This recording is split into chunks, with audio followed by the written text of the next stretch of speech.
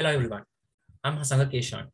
Let me explain to you about my undergraduate research. It is about investigation on significance on critical infrastructure development in post-disaster resettlement in Sri Lanka. When move on to my research background, as you all know, disasters create huge impact to the built environment, especially including houses and critical infrastructure. Speaking of critical infrastructure, those are essential services for the well functioning of the society and economy critical infrastructure in post resettlement context is essential to, is, to upbring the lifestyle of the disaster victims and building them back to a better position what they have previously experienced. When speaking about the, how my research problem was initiated, housing and critical infrastructure becomes an inherent part of post resettlement context. When considering about the ideal scenario where adequate critical infrastructure is provided for a particular resettlement, that will result in the success of post resettlement and lead to community satisfaction. On the other hand, when considering about the uh, worst case scenario, where uh, adequate critical infrastructure is not provided for a particular resettlement, that will direct to difficulties to the community, such as moving to a permanent house, access to their livelihoods, and ultimately long-term trauma and stress to the community as well even though this uh, the need of critical infrastructure is identified in a broader perspective, there is still a gap of identifying the significance of critical infrastructure in local context, and that has cause for an in-depth study, and this has thoroughly investigated throughout the study. This is my aim and objective of the, of the research.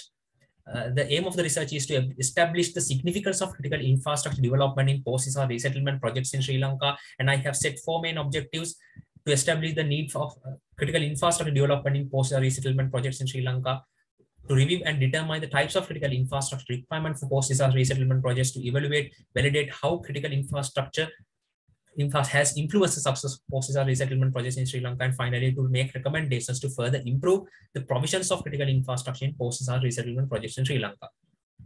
Then move on to my key literature findings of the research. Post-disaster resettlement is to is a plan and control relocation of vulnerable communities from one place to another. There are a few different approaches that can be used for community resettlement. Out of them, developing concentrated rural settlement where community can easily access to the, to the critical infrastructure is the best way of community resettlement. When summarizing post-resettlement context in Sri Lanka, it takes number of years to uh, provide permanent settlements for the disaster victims and also the success achieved through PDR context is relatively low in Sri Lanka amalgamating post-disaster housing construction and critical infrastructure both will result the success of post-disaster resettlement projects. It is essential. I have identified importance of critical infrastructure and also different types of critical infrastructure throughout the study as well.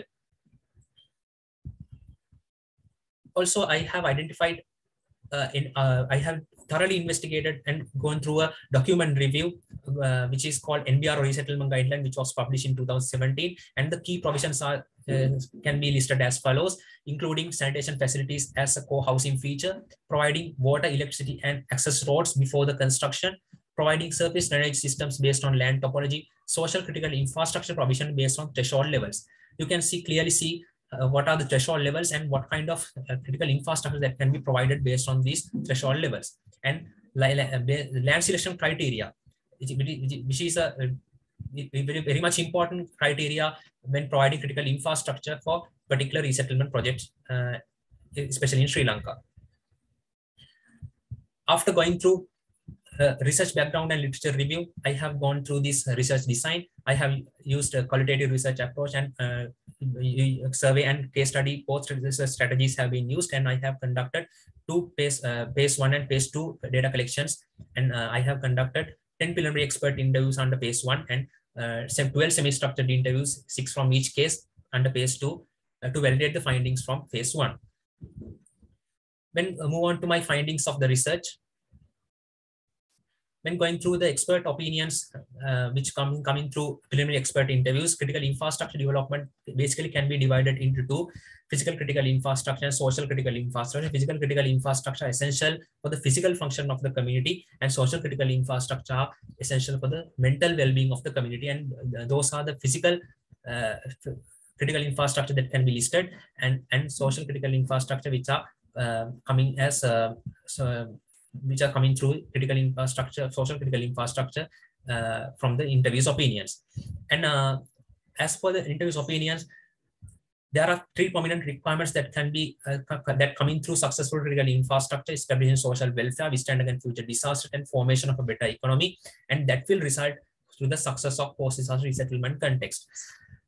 Or anyway, there are factors to be considered and barriers to be eliminated for a successful critical infrastructure, and these can be um, I have I, I will explain in the next few uh, slides as well. There, uh, according to expert opinions, there are 13 factors I have been identified through expert opinions. Um, out of them, site selection, community requirements, proper planning are the most prominent uh, and uh, most well highlighted uh, factors by the interviewees.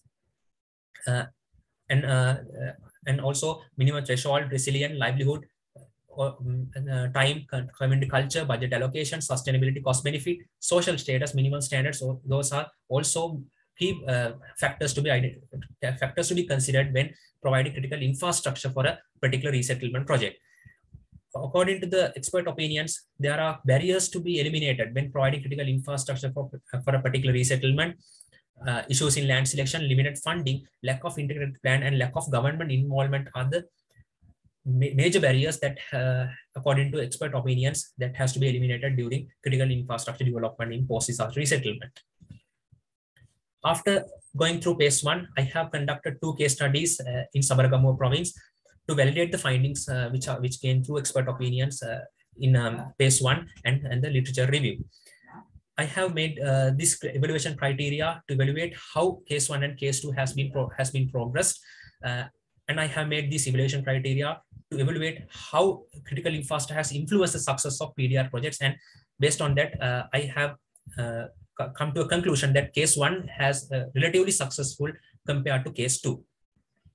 At the end of the study, uh, I have compared the uh, study with the global context and these uh, significant factors have been, have been highlighted uh, less priority have, has been given critical infrastructure development in local context and social critical infrastructure is, is well highlighted in global context because uh, uh, in global context it is well highlighted well, well prioritized the mental stability of the community. But uh, in sri lanka it is relatively low uh, relatively less priority is given for a for the social critical infrastructure development.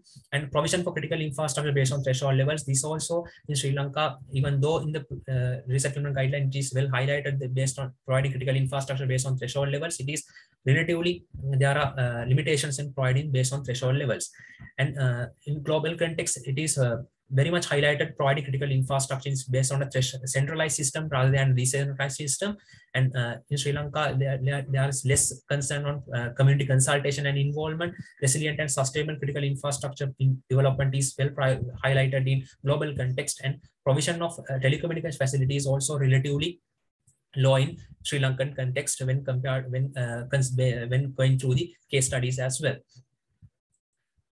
When come to the conclusion, disasters create huge impact to the uh, humankind and it is both, both uh, physically and mentally community get uh, dissatisfied and um, therefore um, mere housing construction is not going to be effective both uh, both in medium term and long term. Therefore uh, it is mandatory to be concerned on providing critical infrastructure uh, both physical and social critical infrastructure during post-disaster resettlement projects. uh, when move, when going through the previous studies, uh, we can clearly see most of the post-disaster resettlement projects uh, have been um, unsuccessful due to uh, inability of the uh, relevant authorities uh, to provide basic critical basic needs of the community. Therefore, these studies is to focus and give give, give relevant authorities um, to provide put, a, put put reasonable effort to provide reason, to critical to provide critical infrastructure develop uh, critical infrastructure and basic needs for the community after a disaster. When come to the recommendation of the study, developing critical infrastructure facilities in PDR projects according to a master plan or local development plan, preparing appropriate policies and guidelines which, which govern the investments to critical infrastructure development in PDR projects and introducing centralized settlements instead of decentralized systems and identifying most essential critical infrastructure based on community views and expert opinions and provide them within a reasonable time. Those are the recommendations I have made and this um, and this is the end of my presentation. Thank you.